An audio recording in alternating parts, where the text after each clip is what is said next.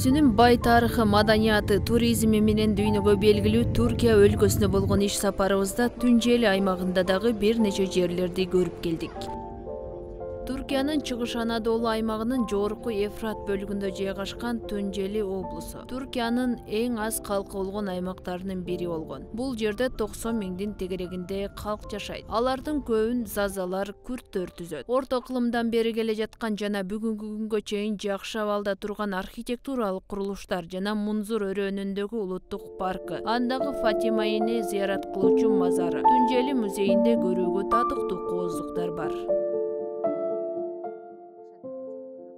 эки миңге жакын экспонаттарды камтыган түнжели музейи төрт блоктон жана беш миң сегиз жүз чарчы метр жабык аянттан турат. Шаардын маанилүү маданий чөйрөлөрүнүн бирин түзгөн музейде алевизм археология китепкана жана этнография сыяктуу бөлүмдөр бар. Ошондой эле музейде таш куралдар тыйындар мүрзө таштар жана ыйык очоктор жана башка табылгалар коюлган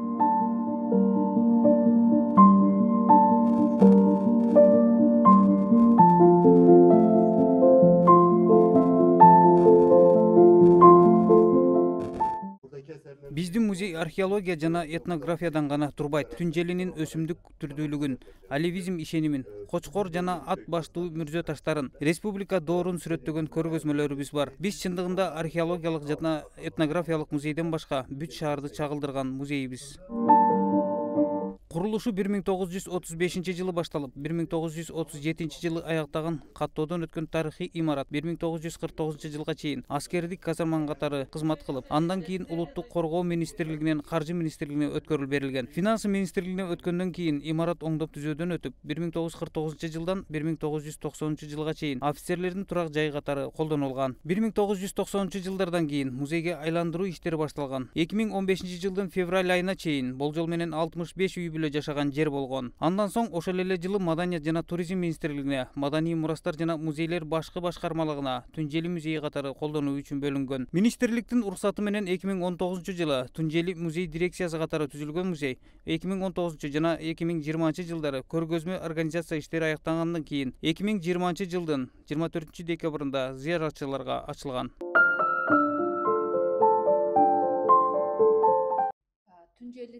ушундай бир э, жазылбаган бир мыйзам десек болот. Ушундай бар экен.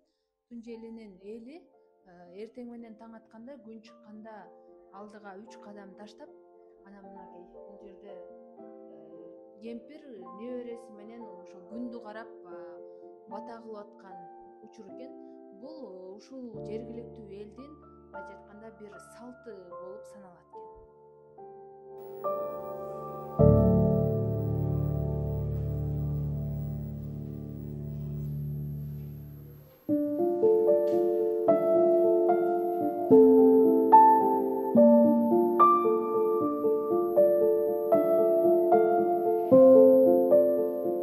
немис архитектуралык стилине ээ болгон имарат төрт бурчтуу формага ээ чарчы формадагы имараттын түндүк фасады үч кабаттуу болсо чыгыш батыш жана түштүк фасады эки кабаттуу имараттын короосунда концерттер театрлар баяндамалар жана башка ушул сыяктуу иш чаралар уюштурулуп тура турган форматта иштелип чыккан.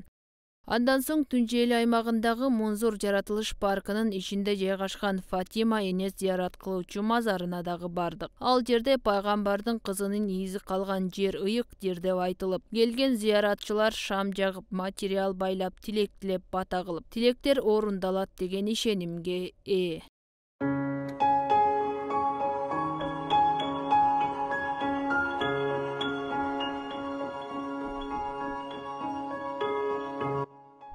биз түнжели шаарынын аймагына кирген э, мунзур вадиси милдий паркына келдик. Бул жер мунзур улуттук жаратылыш парк экен. Бул жерде мынакей өзүңүздөр көрүп тургандай суу айланасы тоо жаратылышы абдан кооз жер экен. Ошондой эле бул жерге атайын э, эс алуучу жайлар салынган. Мына мынтип э, унаалар тынымсыз өтүп турат экен. Бул жака келген кеткен коноктор абдан көп экендигин айтышты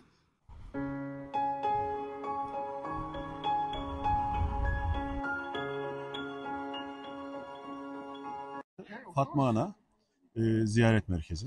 Yani ya da Fatma'na ziyaret alanı. Бул жер. Фатима эне зыярат кылган борбору аймагы. Hazreti Фатима өз кезегинде пайгамбарыбыз Мухаммед Мустафа саллаллаху алейхи вассаламдын кызы Хазирети Алинин жубайы. Бул жерде өзү көрүнүп, изи кылган жер деп айтылат. Мындан улам бул жерге элдер келип бата кылып, тилек тилеп, шам жагып кетишет. na inanılıyor ve o yüzden de burada gelip insanlar dua ediyor, dilek tutuyorlar, e, çıra yakıyorlar, mum yakıyorlar.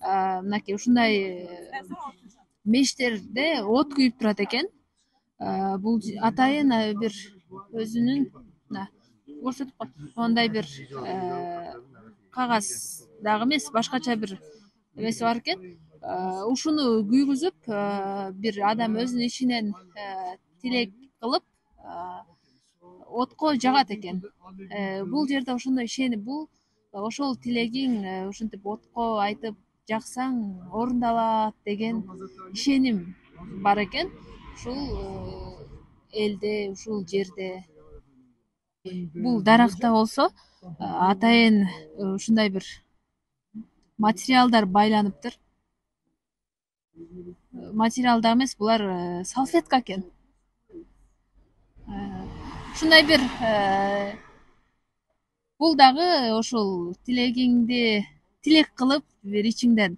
анан э, ушинтип э, даракка байлап койсоң ошол тилегиң орундалат деген өңдүү бир ишеним гүлзада абдрахманова даниэль түменбаев түркия тунжели шаары жетинчи канал.